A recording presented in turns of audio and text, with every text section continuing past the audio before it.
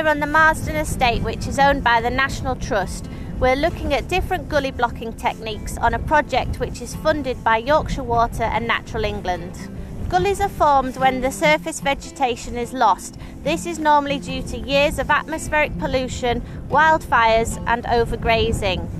Once the surface is bare, the wind and the rain in the winter causes channels to form on the bare peat and in the summer that bare peat dries out and it cracks, leading to even bigger channels forming. Over time, accelerated erosion creates big deep gullies which is not good for the health of the moorland. We're trying to block up some of these gullies. We want to keep the water and the peat up here on the moorlands and that's really really important for drinking water and for the habitat. We're using different types of materials to try and stop that process happening. This is a heather bale dam. It's one of the most natural types of dams that we use and we use it to trap the bare peat and the water on the moorlands. Without this dam here, this would have been an area of bare peat and the sediment and the water would have been running off the moorlands. So to hold that peat and the water on the moorlands, we use these heather bales, which are made in exactly the same way that you would make small hay bales. We transport them onto the moors by helicopter and install them into the ground and stake them to hold them in place.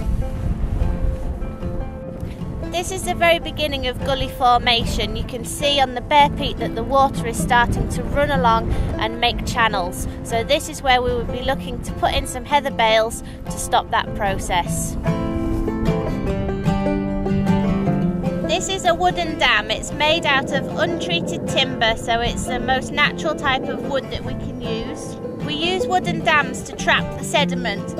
As you can see, during bad weather when the rain's been really falling the water level has been right up to here and you can see where it's trapped all the, the peat and the vegetation so this is really good because otherwise that peat would have been washed away down into the reservoirs and into the drinking water system. A plastic dam. It's made from sheets of corrugated plastic which are driven a metre down into the peat.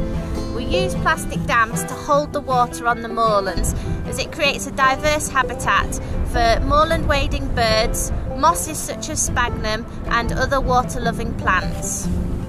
This is a stone dam. It's made from local sandstone which we bring up onto the moorland by helicopter. We place them in the deep eroding gullies. The stone dam acts like a big sieve and it's filtering out all the peat and all the mud, trapping it behind the dam and letting cleaner, clearer water come out behind the dam.